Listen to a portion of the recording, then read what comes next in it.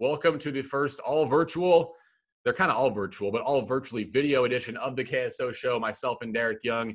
Derek, you look great today. We just started recording, and you said before that this is the first time you have presented yourself appropriately in how many days?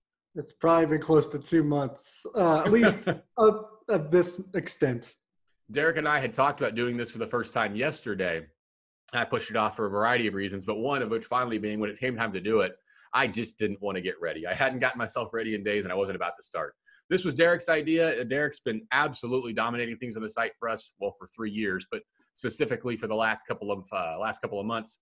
An idea Derek wanted to do was a, a Q&A that's going to show on our YouTube channel. You're going to see of course, uh, on the KSO website. You've given us questions on the foundation that he's asked for. I'm just going to run through a few, ask him. Derek's going to answer. If I have thoughts or a better answer than him, I'll, I'll slip it in.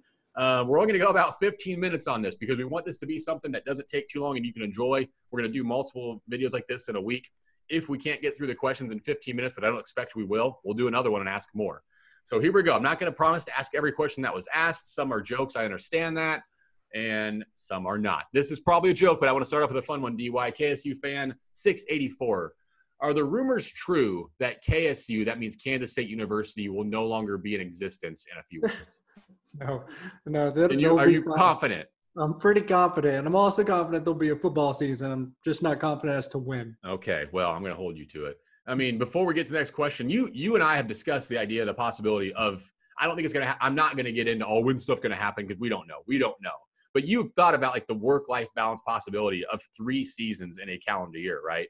Two football seasons and a basketball season. Yeah, and just the, well, it'd be a stress on us, players. It, it's not really practical, but not a lot right. is right now. Yeah, if it, I mean, hey, I'm gonna whatever hand they deal me, I'm gonna play it, you know. But I have definitely thought like, whoa, three years, three seasons, two, you know, two concurrent football and basketball seasons at the same time, and then they end, and then another football season would start like what, like three months later. I mean, right. there's even been concern on my part too, and, and we're kind of getting the weeds a little. No, bit. this is fun. Well, I mean, we have yeah, 15 minutes, late, and if we get to more questions, we'll add them to the next show. It's fine. Yeah, if a delayed football season happens, which is probably greater than 50%, I would imagine. Yeah. Like, what does that mean for basketball? Does that delay basketball or do they try to play them at the same time? Right. Or does basketball get the short end of the stick just because it's not no, as big of a revenue yeah. producer? Yeah, no, it's it's a fascinating conversation, I think. Uh Nooch Baloney. I always, you know, it's not, Baloney spelled funny, you know. Um, I can handle this some too if you don't feel very comfortable, even though I don't have a great answer for it, DY just ask about the basketball scholarship, what happens for it. Of course, there's one left open. Uh, I'll jump in, and if you want to add something, eh, short answer is I've, I've talked to some sources around this. They're just not in a tremendous hurry. I think grad transfer options are out there, of course. Um, they, they feel good about what their roster makeup right now. As far as far as names, I don't have a specific one that I think you really need to watch out for. Maybe Derek's eh, he's paid better attention to me and has a better answer, but that's the best I can give you from talking with people who would kind of know around it that there's not an extreme rush around it. I can probably get a little bit more specific yeah, in what at least I would do or what Ooh. I would expect. Uh, Flanda would probably be the one to give you names or anything. He'll be on these. He'll be on these too. We can do three-way Zoom calls with these. He's busy right now, but we'll get Flando on. But if we did third, we'd have a four because three would look funny. So get Logan on one of these. Yeah. Bring on like Kurt. We could bring on a Boscos. We could Bruce. bring on who? Bruce. Bruce. Well, he would do it. We could bring on Lowery. Do copy. Oh, anyway, I'm getting off in the in the weeds again. Yeah, keep, I guess keep answering. I I think well, I, this doesn't mean this what is what they will do, but what I would do and what I would expect them to do is probably go a transfer route because they've just you know probably hit the cap. I would think what you would right. want in terms of a high school additions in one class, and on top of that, I just they're a little big heavy, probably more big heavy than even I would want to be right now. So I can't imagine another big. It has to be a guard or a wing. Well said. K Style seventy nine he gave us a number of questions. I like all of them. I do too. I remember. So I'm going to read you each of each of them. I think there's a chance, DY and watchers, this may take us through 15 minutes if you give us good answers to each of these, and that's okay. This series may just become us DY. This is our first time we're kind of doing a trial run. Maybe we just have a running tally of questions. We come back and just keep answering. We don't know. Like. So this is K Style 79. How creative have Klieman and staff addressed selling the program without recruits being able to travel to campus? the motto has always been once we get him them here, the place will be able to sell itself. So, of course, question there, DY, to start you off, how creative have they been in getting recruits to campus virtually and selling it without having them here? Yeah, when you speak around just the uh, recruits, high school coaches, uh, just anyone that's really familiar with the recruiting process that might have someone you know, associated with K State or is, you know, aware of what K State is doing, they'll tell you, you know, K State's typically one of the more aggressive schools right now in terms of getting kids on the Zoom calls, on the FaceTime calls, sending them materials, um, just trying to sway them any way they can. And, Yep. and in terms of innovation, it, I mean, they're they're on the the cutting edge. I mean, I think there's a handful of schools that are probably on the cutting edge of that type of innovation. And most of those are actually not necessarily the blue blood schools. It is the Right. schools like Kansas State. And that's probably because they're more forced to be creative. They can't just recruit on their brand name alone. Um, they don't have that luxury to do so. So, you know, I hear Kansas State's being pretty creative.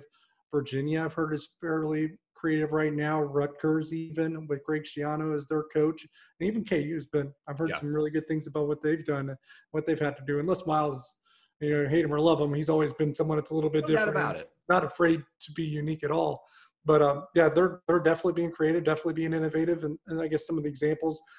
I mean, I've heard you know from a recruit, and, and I'm sure he's not the only one. Of course, is that they kind of do a, a four-step process with with a lot of their top targets in terms of Right. you know they're going to show them this part of campus virtually one week and then do the next the second week and do the next the third week and it's almost like an official visit of sorts just virtually broken into four parts Makes sense to me. Well said. I, this is something I've read a lot about in your recruiting notebooks, but I appreciate your answer it too. Again, from K Style 79. Will Steve Stannard, along with Van Malone, be able to open up a pipeline to the East Coast recruiting? I know you've written a lot about the Carolinas and work being done there. Just in general, is that something they're able to open up for K State a little bit?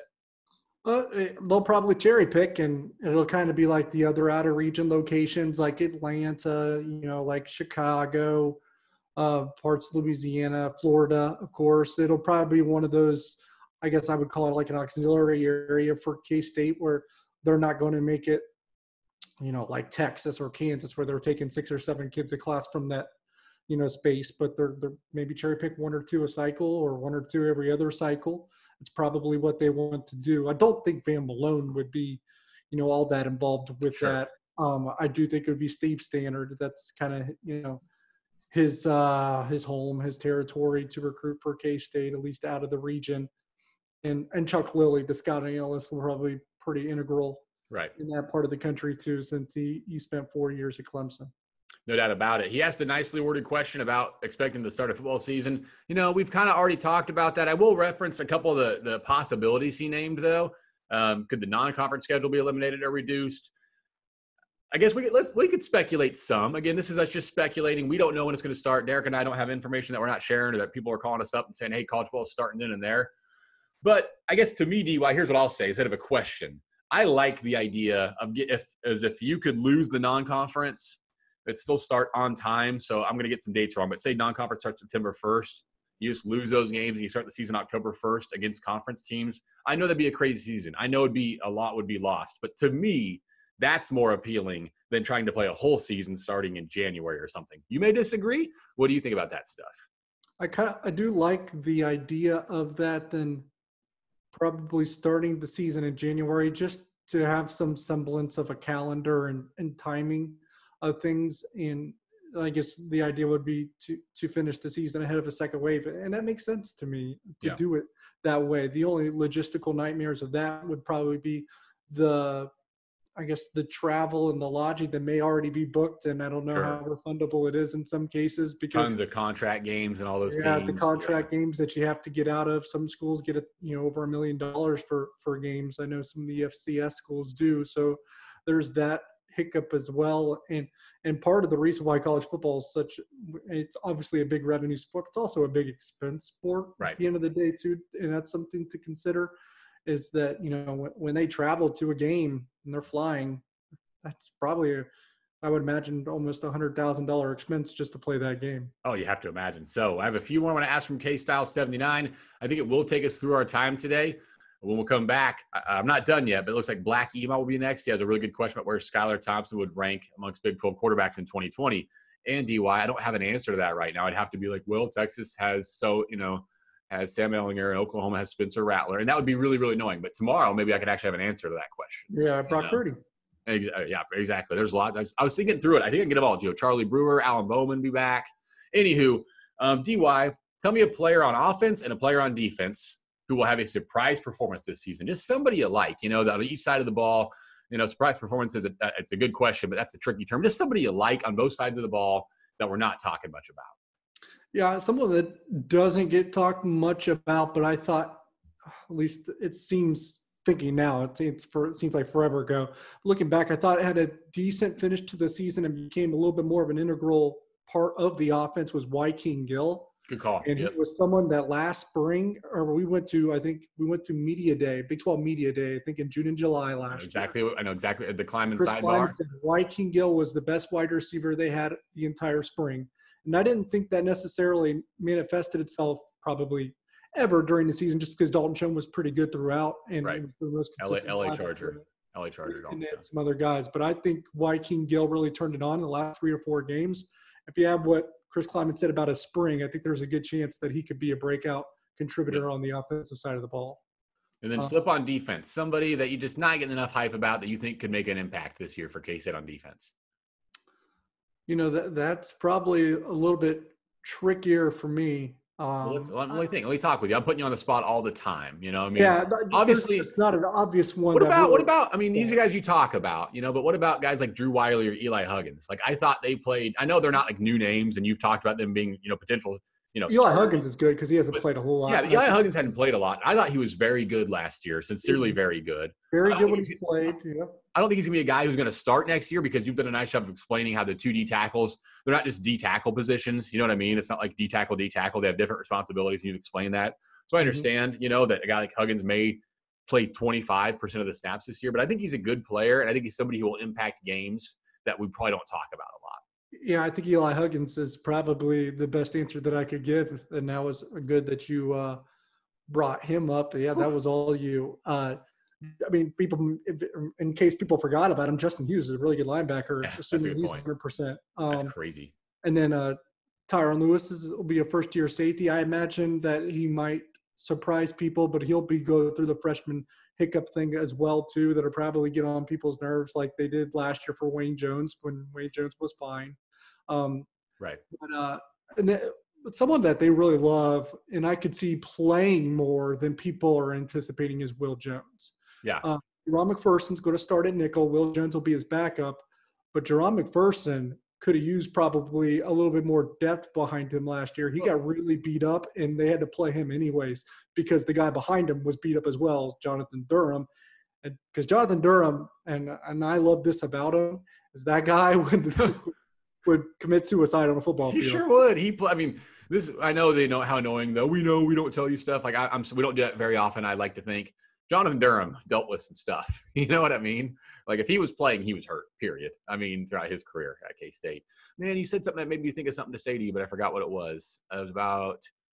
Gosh, I don't know. You had a really wise statement, but I'm just gonna let it have to let it sit. I feel like and move on. Yeah, I mean, Will. Oh, Jones- no, no, it was about the nickels. You're right, Will Jones. Sorry, because Will Jones and Jeremy McPherson. Not only are you right about all everything you said, they also offer like different players. You know, what I mean, like you can play play different kind of things. Not that Jeremy McPherson can't cover or that Will Jones can't play the run. Both those things are false. But I think both have strengths in the other ones. To where there may be some teams, if they're, you know, that Jeremy McPherson makes a lot of sense at nickel. If you're playing more of a big nickel, you know, safety type of nickel, maybe a lot of teams where you're playing more of a third corner, you know, um, That's true. yeah, a lot of the NFL teams are doing that now too. Big nickel, little nickel, and yep. they can really do that with McPherson and Jones. Exactly. Um, I'm going to reword this. He asks who will be the next coach to leave. I'm going to change it, Derek, because I'm not going to make you predict a coach to leave. Tell me a coach on K State staff that you think will continue to have a lot of interest from outside jobs because of the job they're doing. Well, I think if he continues his recruiting success, Van Malone makes a lot of sense. I, I doubt that happens just because the assistant head coach title was put on to protect that very thing, but you never know what might be available out there. And Coach Klieman did say he's going to be a future head coach. So yep, um, at some point that will, if he's correct though, that'll come to fruition. We'll see. Uh, I like Joe Klanderman a lot, lot, and I think his value and, and I don't think many people in the country know how good of a coach he is, but they may find out. Yeah. Yeah.